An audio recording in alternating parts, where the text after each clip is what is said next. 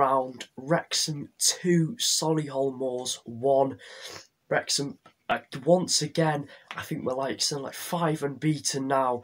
A 2 1 victory over non form Solihull team. They've recently beat Yeovil 5 1, so we weren't expecting an, uh, an easy game today, and it certainly wasn't the second half. First half, I thought we were we were all over them. Um, couple of good chances, and we managed to get two penalties as well. The first one being Hall Johnson, he skipped past his man. Uh, the first challenge should have been a foul, but the second challenge, clear as day, the Solihull player was protesting, but it was a clear penalty. Luke Young slotting it down the middle past Ryan Boot. The second one of which, um, Angus, it was a lovely ball. I think it was from Young again. Uh, Young played through Angus. He tried to come round him, and Nathan Cameron brought him down. I think Angus would have scored, but again, another penalty. Got booking for it. Uh, oh, Young. It was a very, um, very weak penalty. Boot couldn't hold on to it. Went the right way. Got a strong glove to it, but couldn't hold it. Um, so that made it 2 0. Went into the half time 2 0 up. Second half, I think we were expecting maybe for it to be Solihull, maybe try and get a goal, and then we just uh, continued to go for it because they were there for the taking. Even though we didn't score two open play goals, I think they if we'd have played how we did in the first half, the second half would have been a lot easier if we'd have just continued to go for it.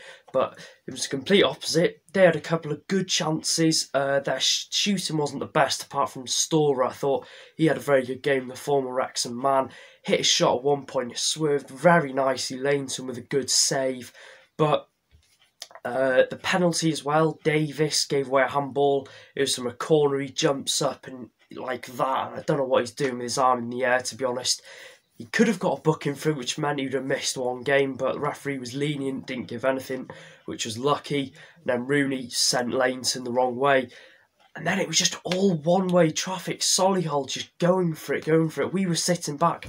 Every time Lainton got the ball, he was just hammering it upfield uh, very pointlessly. Um, I think it actually had an impact when we had Ponticelli and Omotayo on up front.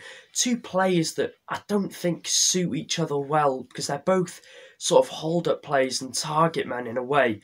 But uh, I thought if we'd have kept Angus on, it been it would have been a lot better. But once they slotted the penalty away, uh, we just we just continued to sit back a lot of defending to do. I thought Pearson and Callum at the back had a very good game. Don't forget for Sal as well.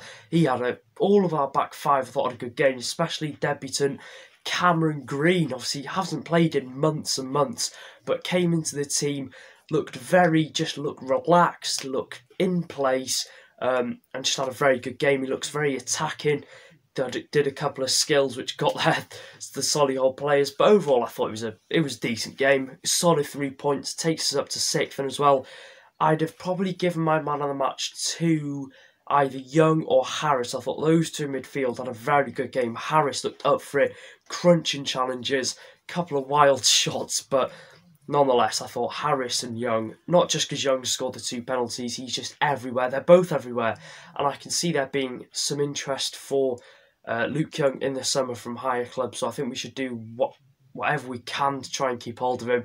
Because if I'm being honest, we won't be able to get a player like his talent and with his ability from this level. And I think just once again, those two very well done up front. We look decent at the back. Lainton, couple of good saves, couple of nerve wracking time, uh, nerve wracking moments at times, but it is what it is. We got the job done. We're up back into the playoffs and a very solid performance at Wrexham. I've got to give it to Solly as well. Um, you came out in the second half very uh, positive minded. You, it was almost like some teams that have faced us this season have said, "Oh, we're losing two 0 at half time. We can only just sit back and not let this concede again." But no, they went out for it. They got their penalty deserved. They got the goal, which was deserved and they could have easily got an equaliser at the end, uh, bar some wild shots. But once again, a great performance from Wrexham. I can't complain.